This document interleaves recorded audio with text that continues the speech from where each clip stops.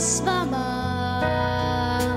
kiirustades kastan armsaid unistusi, valusatel mälestustel.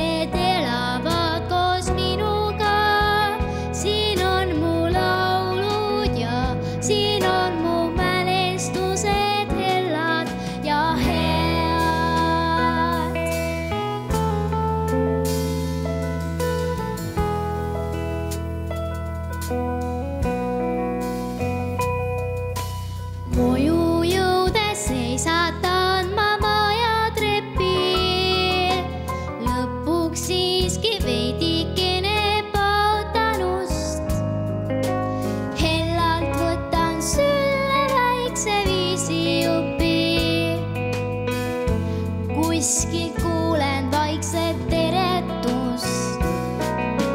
keegi pole vahepeal mu kambris käinud, saladustel.